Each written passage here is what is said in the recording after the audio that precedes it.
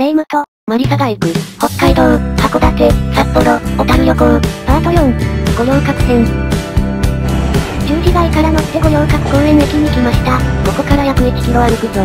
すぐ近くじゃないの約1キロ歩いて15分くらいだな。また歩くの五稜郭駅まで歩くよりはマシだぞ。そんなにかかるのかかるだー。さあ行こう。五稜郭タワー到着。疲れたか、自然しか乗らんし、歩いてばっかだからな。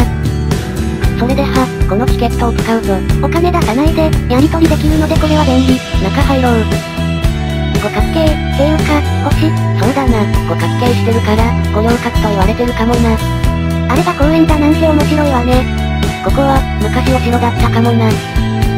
あ、アイス、うん、マリカの分もあるよ。あ、ありがとう。桜のソフトクリームだって。いただきます。綺麗。桜の季節だったら、もっと最高だったかも。お花見の時行きたいわね。そうだな、でも、酔っ払いが多くなるぞ。その時は、私たちも一緒に飲もう。いや、昼は飲まんがな。次は、どこ行くの？